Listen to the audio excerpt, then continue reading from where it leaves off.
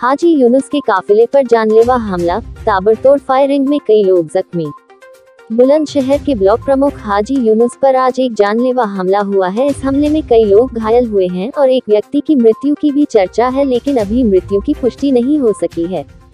बुलंदशहर के पूर्व विधायक स्वर्गीय हाजी अलीम के भाई और ब्लॉक प्रमुख हाजी यूनुस पर आज एक जानलेवा हमला हुआ है।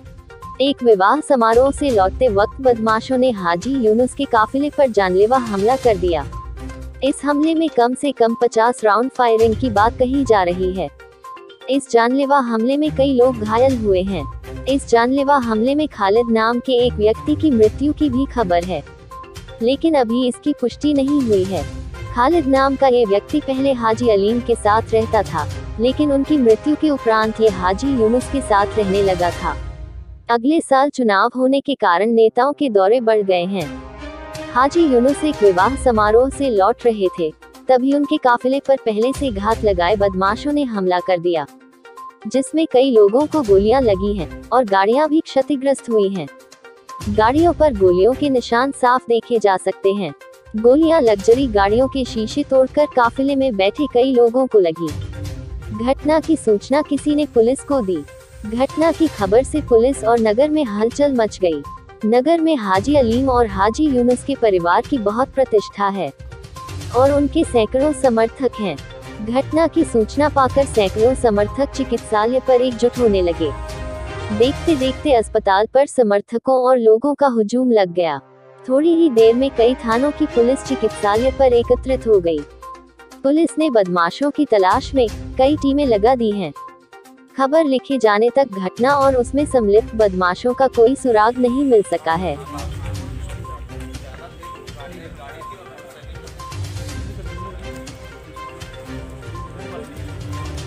ये रही ये रही ये रही।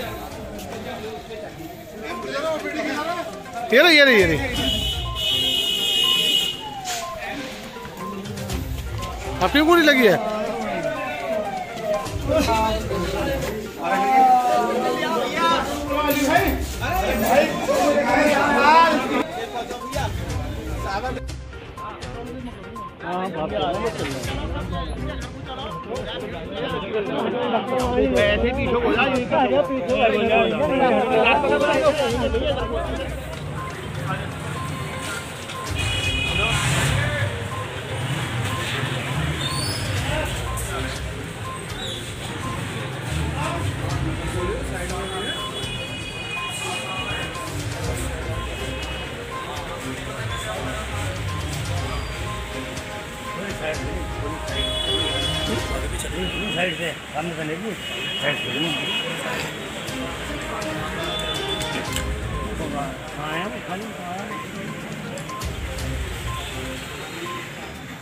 तुम चला रहे तुमको लगा चार गाड़ी